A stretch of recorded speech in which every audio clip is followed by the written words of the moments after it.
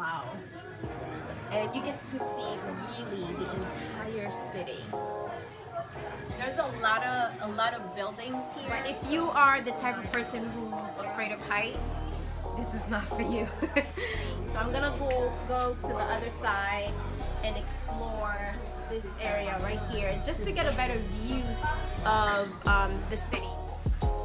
Okay, so this side is the east side.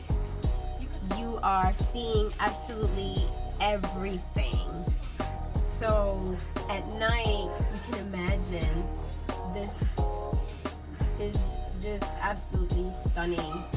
You get lots, lots of lights and you get to experience Taipei at night. So this is just a little bit of Taipei city from me to you. Okay,